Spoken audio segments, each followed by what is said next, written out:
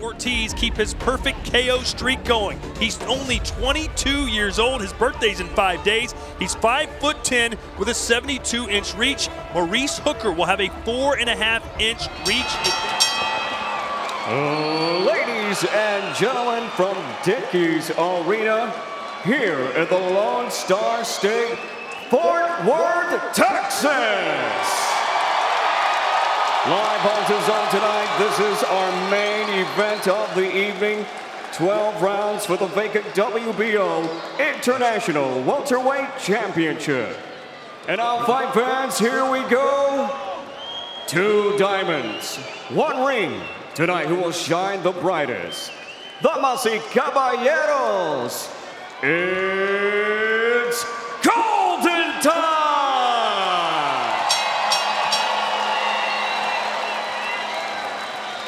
Introducing to you, fighting out of the blue corner, with trainers Brian McIntyre and Isao Dieguez. Wearing black with gold, he officially weighed in at 147 pounds. In 31 professional bouts, his record is impressive. 27 victories, 18 wins coming by way of knockout, only one blemish in three draws. Introducing to you the former two-time defending super lightweight champion of the world, hailing from Dallas, Texas, USA. Here is Maurice Mighty Mo Hooker.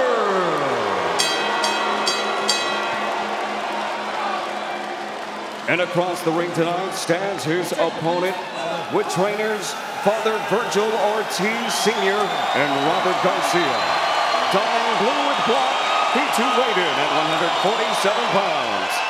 Tonight, this rising welterweight enters the contest perfect. 16 bouts, 16 victories, 16 huge wins coming by way of knockout, no defeats. Introducing to you the current WBA Gold welterweight champion, the fighting pride of Grand Prairie, Texas, and representing Dallas, here is the undefeated,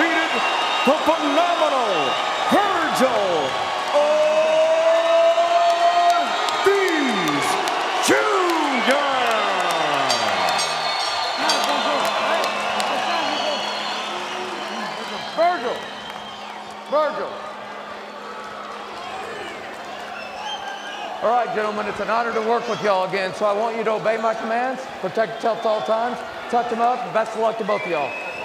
You know, Maurice Hooker went on the road to win his title against Terry Flanagan. He went on the road to defend it against Alex Saucedo. He's in his hometown tonight, but this sure feels like a road game for Maurice Hooker. Hooker promises to test him like no one has before. But will that be enough to Fight stop back. this knockout back right freight train from Grand Prairie, Texas, in front of a very raucous hometown crowd? Here we go, 12 rounds in the welterweight division. Ortiz Jr. in the black and blue, Maurice Hooker in the black and gold.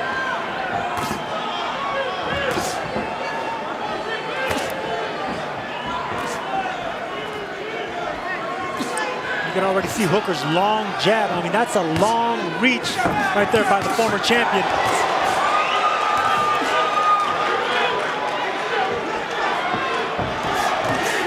You wonder how Hooker's going to handle the first power punch that lands, and I think one just stung him a right hand. He backed up a little bit. And already, Ortiz trying to get Hooker out of his comfort zone. Now remember, Hooker was knocked out by Jose Ramirez with junior welterweight power. This is the first time he's feeling real welterweight power. And Hooker already exchanging with Ortiz Jr. He should stay behind that jab, but that's easier said than done when it comes to a freight train like Ortiz. And Sergio, you've told me before, once a fighter gets cold cocked like Hooker did when he faced Jose Ramirez, they're never the same. They're never the same, and if they are a hint of what they were, they're still shell-shocked once they get hit with that first big punch. Hooker has plenty of power too, don't count him out. 27 wins, 18 KOs.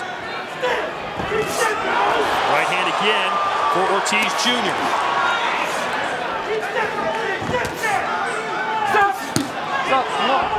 Push down the back of his head.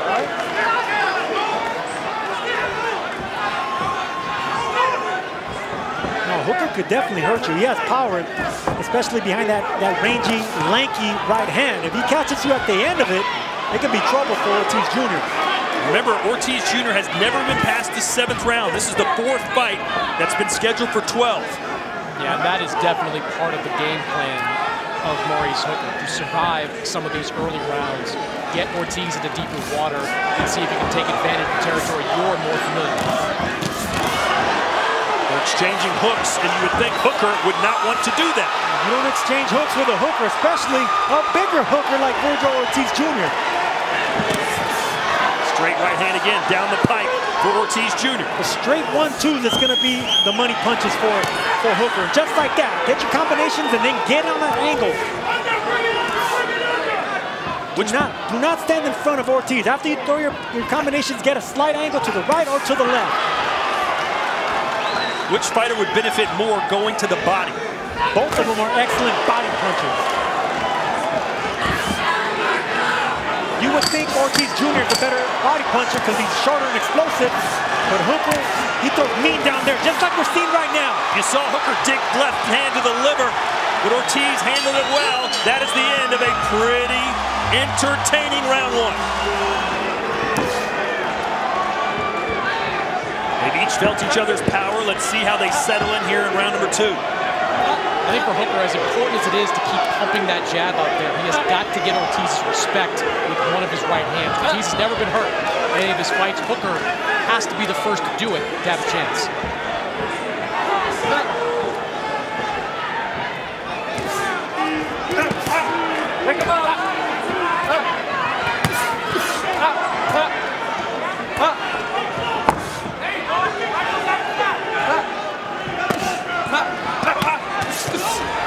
Got to get those hands back up quick when you throw the body shots because Ortiz Jr. ready to fire. This is high-octane power by both fighters right now. It's just beautiful to watch. The counter-punching, the power from Ortiz Jr., the counter-punching from Hooker. It's going to be a great fight. It's going to be a great fight if Hooker can continue to absorb those right hands from Ortiz. And Hooker got knocked out by Jose Ramirez. And Sergio, you can speak to this because cutting weight affects your chin. Like if you are drained going into a fight, it affects your ability to take big shots. Oh, absolutely. Both these fighters outgrew the 140-pound weight division. Only, only uh, Ortiz did it developing naturally, and of course Hooker did it just with age, getting getting older. That's a push. Halfway through round number two.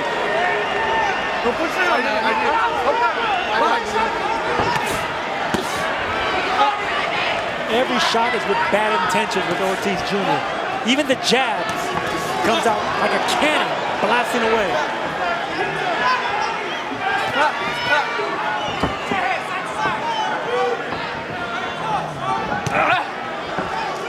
Hooker keeping Ortiz Jr. at bay. That's what he said he needed to do. Well, volume punching is what Maurice Hooker does. He averaged about 70 punches per round as a junior welterweight, so he's going to throw a lot back at Vergil Ortiz.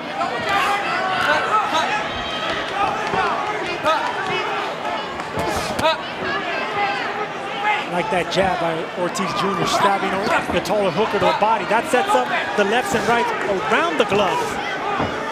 Just like that. Big winging right hand. It was blocked, but it still affected Hooker.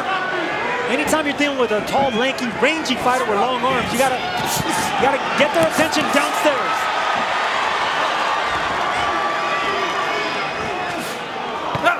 Oh, Hooker with a right hand right on the forehead. Hooker could fight in the inside. Don't let him fool you. He- he's an excellent body puncher, excellent inside fighter. Good round for Hooker, but Ortiz can certainly change it with one landed punch. Nice right hand by There's Hooker. one there and another left hook up against the ropes. And that'll do it for another pretty solid round two. Big by Ortiz Jr. and not standing in front of him. Excellent fight. The fight Hooker had against Jose Ramirez was also very exciting until it wasn't, at least for Hooker when he was knocked out. This one also off to a great start.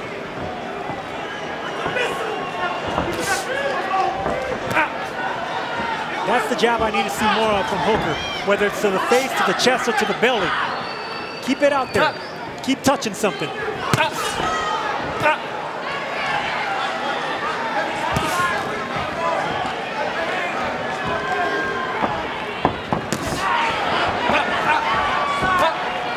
Nice angle there by Ortiz Jr. Using his upper body just to get an angle. You talk about the intensity from Ortiz Jr. He said he's never met, met anyone who hates to lose more than he did. He said he learned his multiplication tables in third grade better than anyone else in his class so that he could say he was the best. Well, he said he wanted to be a badass in math and the guitar and boxing. I asked him what's the hardest. I thought, he, I thought it was math, but he said boxing. Math is harder for you than boxing. We know this. Absolutely. Dig into the body now as Ortiz Jr. Maurice Hooker answers back but got caught in the process. Hooker needs to tuck that chin in. He tucked them elbows in for the body shot, but tuck that chin in. There's Terrence Crawford, 147-pound king watching. Hooker does not want to exchange with the bigger puncher. Come on,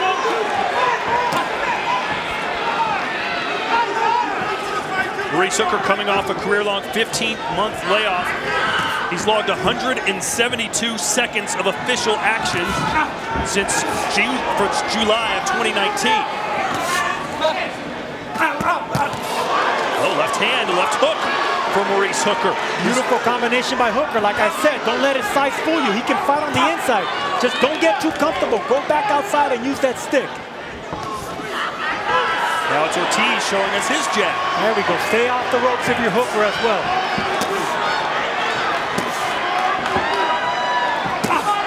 Body shot by Ortiz Jr. Look at Hooker trying to come forward here after a couple of power punches. I'd like to see Hooker go back downstairs some of those body shots. He did it effectively in the first couple of rounds. Seems to have abandoned here in the third. One thing that Vergil Ortiz told us about the jab, he, he started to learn the importance of a power jab in that Brad Solomon fight. Solomon was a tricky and cagey fighter, moved around. It was the jab that took him out. Good round here for Maurice Hooker. Getting an angle after the combination. That's what I want to see more of from Hooker. You can see Ortiz Jr.'s face has got a lot of red on it. He's been eating some punches. And Vergil Ortiz exchanging words and a glance with Mighty Mo. Chris Mannix's scorecard through three rounds. I've got three rounds to none in favor of Vergil Ortiz. I think Hooker's done some pretty good work in spurts, but the heavier, cleaner shots are being landed by Vergil Ortiz. Nice jab again from Ortiz Jr. And there's the jab that I was talking about that, that he learned from. He learned how to use his jab a lot more appropriate when it comes to fighters that know how to fight behind that stick. One thing I'm seeing with this jab is that more Ortiz's jabs are getting through the guard. Ortiz, in addition to being an excellent puncher, is a very disciplined defensive fighter where he keeps that guard up and he's gobbled up some of those uh, Hooker jabs. Excellent head movement and subtle defense from Ortiz.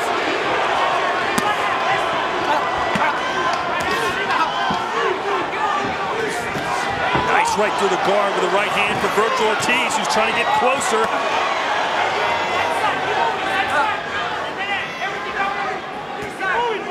Hooker doing his best to keep Ortiz Jr. at bay with the jab. When it comes to such an explosive power puncher like Vergil Ortiz, that hands-up earmuff defense is not going to be enough. Them gloves will penetrate through.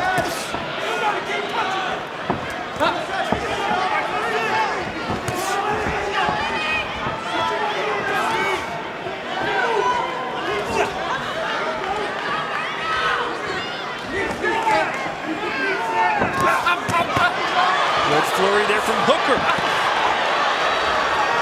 And wisely, he steps out, Sergio, and avoids the firefight. He's doing some excellent counterpunching right here. Explosive, but not standing in front of him too long.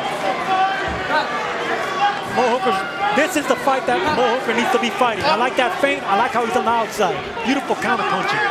Again, Hooker a 10 to 1 underdog here tonight.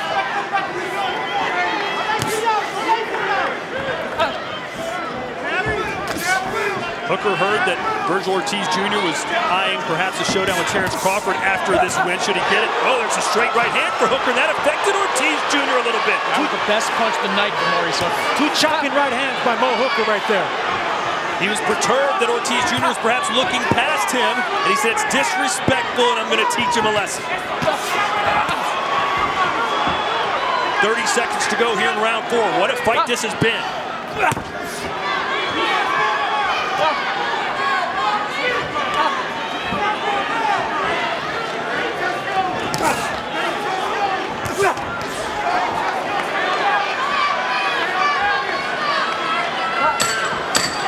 Hooker fighting off the front foot now, getting confident. Best round of the fight for Maurice Hooker. Look at Mighty Mo go.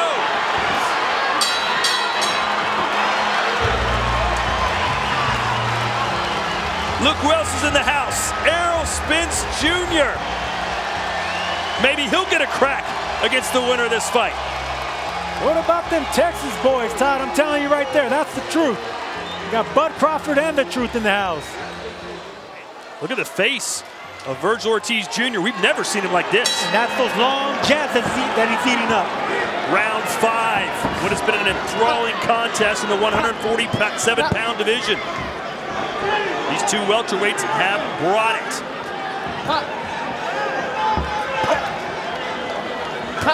Well, now Ortiz knows he's in a dogfight, Sergio. And that's exactly what Maurice Hooker wanted to avoid. When we spoke to Terrence Crawford, said he has too much dog in him. That's why he, he fought for those dog fights. The right hand, needs to avoid that. And now Hooker getting brave again.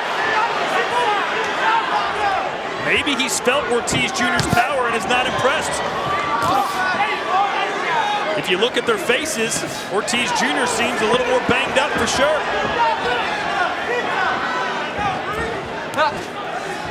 Round four was the first round that Hooker outlanded Ortiz Jr., who digs to the bottom.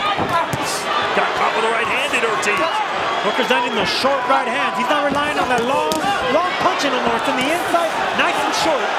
Very similar punch statistics. It is a close fight.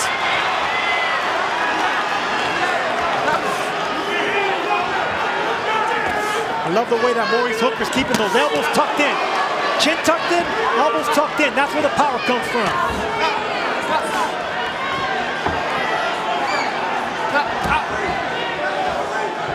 And Sergio Ortiz Jr. hasn't even had to deal with being gassed out. He's never had to take rounds off. This is new territory for him. And that's why we were curious to see how Vergil Ortiz Jr. is going to react in the second half of the, of the fight. He takes out everyone in the first six and a half rounds. That body shot affected Hooker. He's got those elbows pinned in.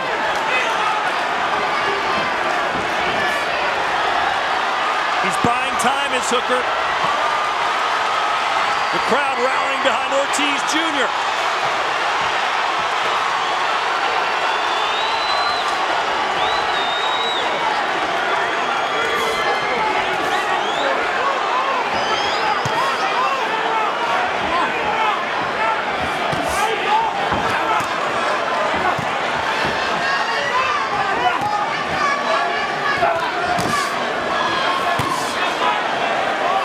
Oh, look at these heavy-handed shots.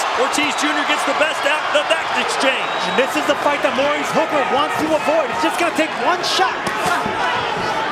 Get back on the outside. He's an excellent body puncher, excellent inside fighter, but stick to the game plan. Body shot hook, hurt Hooker.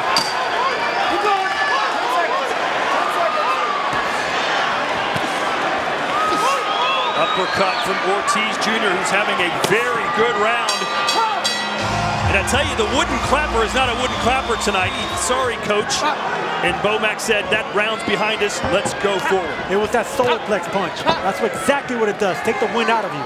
How long does it take you to recover from that? You don't recover it right away. That's why he was blocking them shots. But even when you block shots when your body's hurt, you're still gonna feel the impact of them. Like that.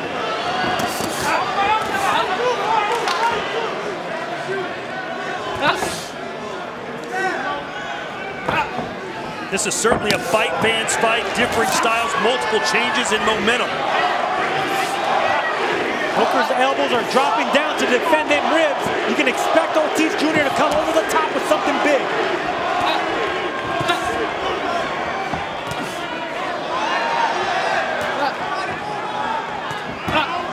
Maurice Hooker facing adversity here, but he's succeeded in these situations before. Was dropped by Alex Saucedo in that title defense in the second round, rallied to stop Saucedo. So he's not going to get rattled easily. Good combination from Hooker. Hooker's best success has been that short right hand. It's not long, not using his reach, it's in the inside. No six-inch punch. Nice shot from Hooker again. It snapped Ortiz Jr.'s head back. Hooker's been having success in mid-range. In the mid-range, he's been landing those shots. Last week, we were fortunate enough to call Chocolatito versus El Gallo here on DAZN. Another pretty darn good main event tonight, also in Texas.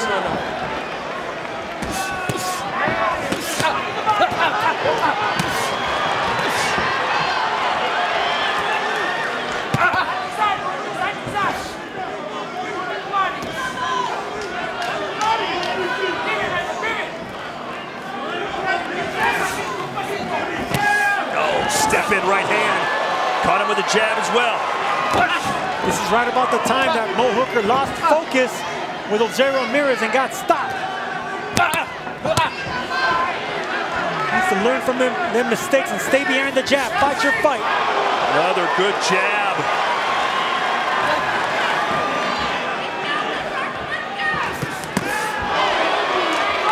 Oh, Ortiz thinks he's got him and he might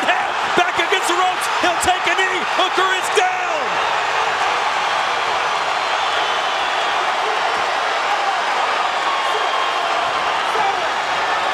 He will get up. But will he survive? The onslaught is coming, and this young kid doesn't know how to stop. Will the bell save him? 13 seconds left. A big overhand right again from Ortiz Jr. He's trying to close the show in the seventh. Hooker's going to slug it out with him. That is a horrible idea. And he survives the round. Let's see what Hooker has left in the tank. He goes right after Ortiz Jr. Give the guy credit. He has courage. Chris Mannix, your scorecard through six. Well, it's all Vergil Ortiz at this point, 59-54 after that last 10-8 round. His shots, Todd, are just thudding. He is Oh, and another right hand as Hooker takes a knee again. And this time, he may not get up. He thinks he's broken his hand. And it is over. Vergil Ortiz Jr., the future has arrived at 147 pounds. It looks like his elbow is dislocated.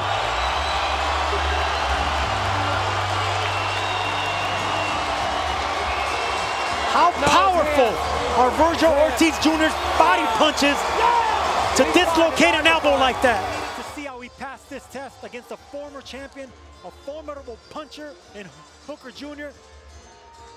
Excuse me, with Hooker, but it was that body shot. What a body shot right there. And the elbow, you can see, I don't know if it's his wrist or his elbow.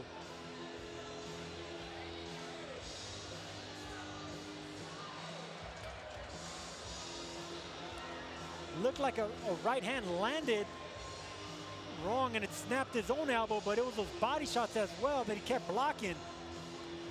He was absorbing a lot of shots to the forearms and the elbows, and they took their toll.